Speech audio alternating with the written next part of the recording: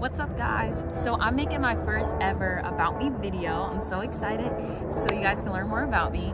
But um, so it'll be 10 questions and then there'll be a bonus question at the end. So stay to the end, watch through all. It's great content, I promise. Okay, let's get into it.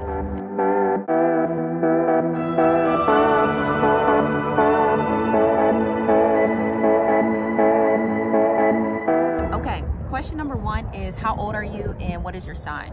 So I'm 21 and my sign is an Aries. I know my name is Ari and I'm an Aries. So cute. Okay. Question number two is where do you go to college? So I go to Dartmouth College. It's an Ivy League school in New Hampshire. Yeah, pretty small school, but it's beautiful. Like I would highly recommend visiting.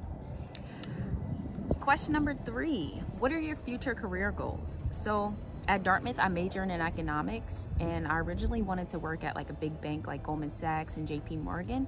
But now like that I've been here and I've been playing as a professional athlete, I want to do this as my job and get paid to play.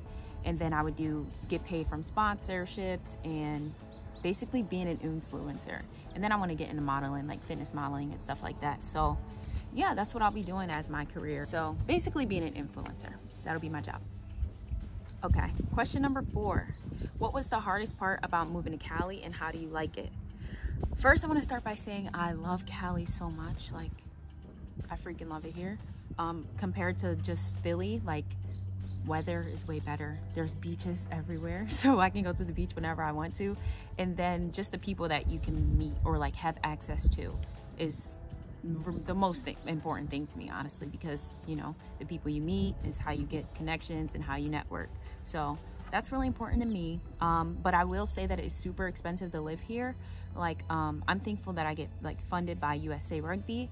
Um, but for like anyone who wants to like move here, it is going to be more expensive. Food is more expensive. Gas is more expensive. So yes, but I will say do it. Like, just do it. Like, just experience Cali. So yeah. Um, question number five. What sport do you play? How long have you played?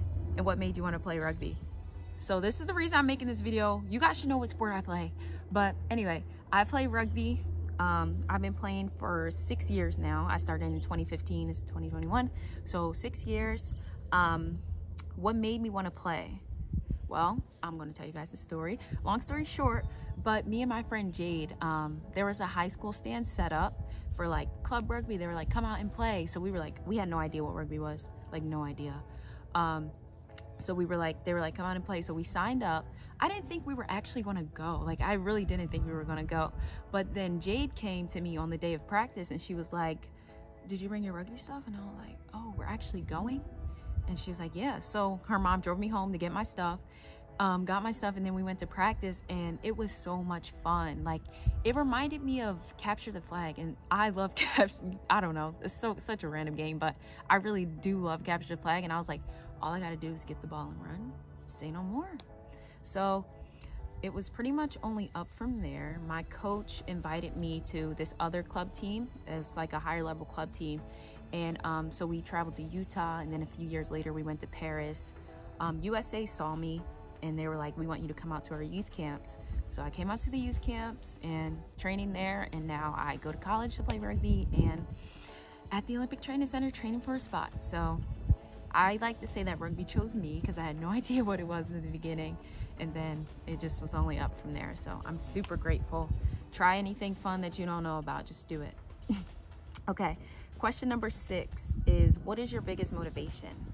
My biggest motivation is really my two little sisters. Like I want to show them that whatever goal you want to achieve, just keep working hard and you will achieve it. So I think that's really important. One of the most important reasons that I play. I play to inspire people. I know when people see me going and see me working hard, they it makes them want to do it too. So for my followers, for you guys, for people watching me, I just I think it's I just like doing it. I really do. I like you guys. I like being able to motivate people in general. So yeah. Um, and last but not least, I play with my dad in my heart and my spirit. Like he is what drives me in spirit. So yeah, I think that's that's a big part of it too. Um, question number seven is how have your mental skills grown over the years? So I definitely struggled with like anxiety, overthinking, all that stuff.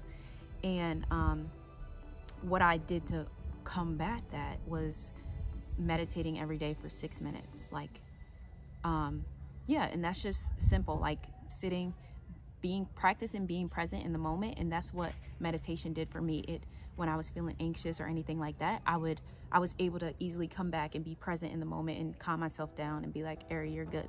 So I think that's super important. I would highly recommend meditating if you have like any anxiety or whatever. Like just do it. It just calms your mind in general. So yeah. Um, question number eight. How do you stay confident even after a bad practice or a bad game, but better yet, a bad season? I love this question so much because still to this day, I'm working on it and still trying to figure it out.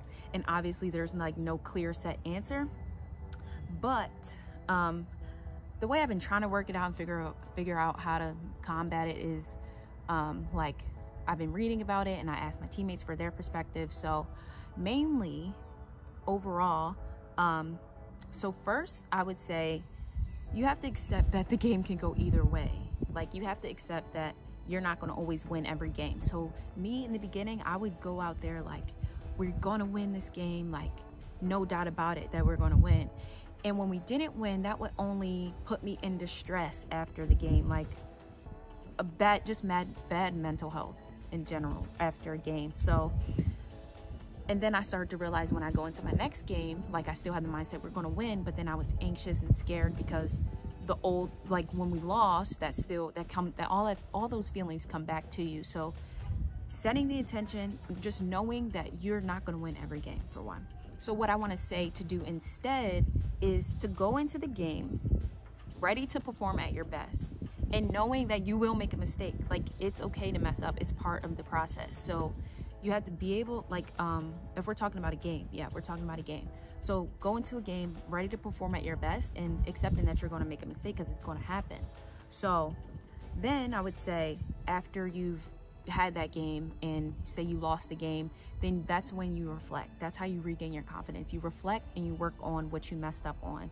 So that's how I regain my confidence is when I work on something and then I come back to the game ready and prepared to to play again. So I would say that that goes for practice, games, and season. Like after practice, watch your film, see what you need to fix, and try to fix it the next day. So yeah. Okay. Um, question number nine is when are you going to the Olympics? If only I knew. um, so Olympic selections are so the Olympics is this year, 2021, and then we get we find out who is who makes the team next week. So after next week, that's when I'll know if I'll be going to 2021 Olympics. If I don't make this Olympics, hoping I do, like praying, all working hard, all that stuff. But um, if I don't, then I'll be in 2024. Like I'm gonna I'll go back to school and then I'll come back to train for 2024 Olympics. And that's really exciting. So yeah, that's when I'll be going either this year or either 2024. So stay tuned. Okay, so the last question is question number 10. It is how do you feel about the vaccine? So I just want to say do your research. Like don't listen to Instagram memes, don't listen to TikToks. Like do your own research and get your own perspective on it. Like a lot of people are hesitant because they don't know what's in it, what like they don't know what it'll do to you in the future, and that's all reasonable because I had the exact same doubts.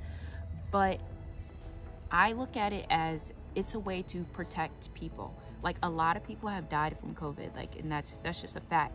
A lot of people die from COVID, so it's the it's the way that you can protect yourself from getting the from getting the um, virus, and you can protect other people from getting the virus. So just that's just how I see it. That's my perspective. Like it's totally fine to have doubts. Like, but do your research and figure out figure out what you need to figure out. So yeah. Time for the bonus question. The bonus question is what do you look for in a guy? Hmm. So I look for a guy who is ambitious. Like he has to have goals set out for himself, know what he wants to do, obviously. Um, someone who's supportive, supports me in my endeavors, supports me as an athlete, supports me as a woman. Um, someone who is smart, like you can debate. I can go come to you for things for an intelligent answer, um, and we can just debate about things, ideas, and stuff like that. I, I like that a lot. Um, and obviously someone who's athletic. Like you don't have to be an athlete, but I would like someone who that works out, that likes to work out, who likes to eat healthy. Well, you don't have to, you know, eat super healthy, but health is important to them. So That's a big thing for me. That's all I got for you guys. So thank you for watching. I hope you watched it all. Good content if you ask me. So yeah, um, stay tuned for my next video. Like this, subscribe to my channel, and thank you so much. And I'll see you guys in my next video.